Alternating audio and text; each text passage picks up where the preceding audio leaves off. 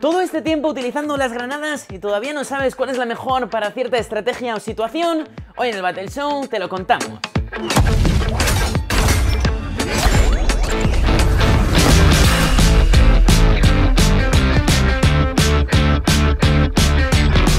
Chicos y chicas, yo soy Diego, aunque muchos de vosotros me conoceréis como Dejo88 y hoy estamos de vuelta en el Battle Show.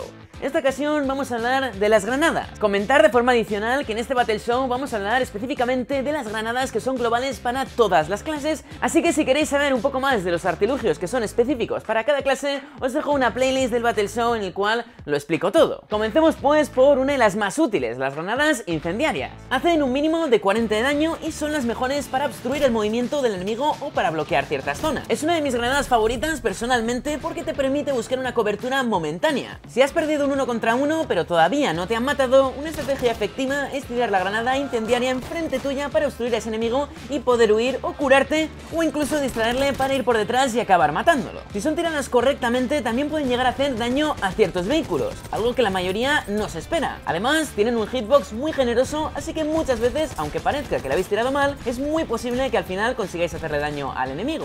Y por último, ya que la única estrategia para dejar de quemarse en Battlefield 1 es tirarse al suelo, es muy efectiva para obligar a tu enemigo a que se tumbe, algo que también puede llegar a ser útil en ciertas ocasiones. Pasemos ahora con las granadas de gas, las más odiadas y las más queridas del juego. Son granadas que hacen 15 daño por segundo, así que dependiendo de lo rápido que sea el enemigo en ponerse la máscara de gas, puede recibir de 15 a 100 de daño. Aparte de esto, funcionan en área y pueden llegar a atravesar paredes, así que son muy efectivas si sabes dónde está tu enemigo. Puedes tirarla para afectar a ese enemigo sin que sea necesario un enfrentamiento directo, obligándole a ponerse la máscara de gas y tener que dispararte de cadera porque esa es otra. El principal uso de las granadas de gas es obligar que el enemigo se ponga la máscara de gas, haciendo que no pueda apuntar con ningún arma. Además, puedes llevar dos de ellas simultáneamente y duran 15 segundos cada una, así que puedes hacer que haya gas en un área durante bastante tiempo. En general, recomiendo bien utilizar escopetas o versiones de armas que sean de trinchera para poder estar disparando de cadera dentro de tu propio gas y no tener ningún problema si escogéis la granada de gas y os tenéis que poner la máscara. Por último, una de las estrategias más interesantes es tirar la granada de gas en una zona por donde crees que te pueden venir los enemigos y estar en otra zona. La granada de gas actuará como un aviso,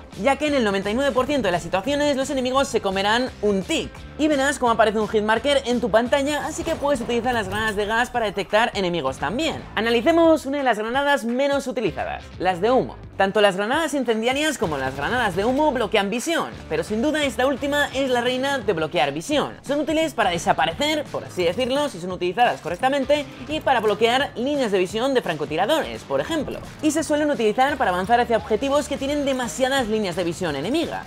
Además, permiten evitar que nadie te aviste si estás dentro del humo, algo que puede llegar a ser muy útil. Hablemos pues de una de las granadas más utilizadas de todo el juego, la clásica granada de fragmentación. Las granadas de fragmentación hacen bastante daño y explotan bastante rápido también. También hacen un poco de daño a vehículos, pero no lo suficiente como para considerarla una opción viable y elegirla por eso mismo. A pesar de esto, es la opción más recomendable para cualquier estilo de juego y la recomiendo si no sabes qué granada elegir se podría considerar una de las más polivalentes de todo el juego. Turno ahora de la granada mini, con esta específicamente podrás llevar dos granadas a la vez. Eso sí, esta no será capaz de matar a un soldado de 0 a 100, a pesar de esto, pueden ser lanzadas a más distancias que la de fragmentación, que puede llegar a ser útil en ciertas situaciones. Midiendo las ventajas y desventajas, opino que no son demasiado recomendables por su daño reducido. Ahora toca la granada de impacto, una de las mejores para finiquitar a enemigos. Es prácticamente imposible esquivar si es tirada correctamente. Si bien es cierto que no es capaz de hacer 100 de daño de una explosión, pero es la mejor en finiquitar a un enemigo cuando ya le has hecho daño y no tienes línea de visión directa. Tiras la granada de impacto y como explota al instante, es imposible que reaccione el enemigo y casi siempre la acabas matando sin que pueda hacer nada. Luego tendríamos la granada antitanque ligera.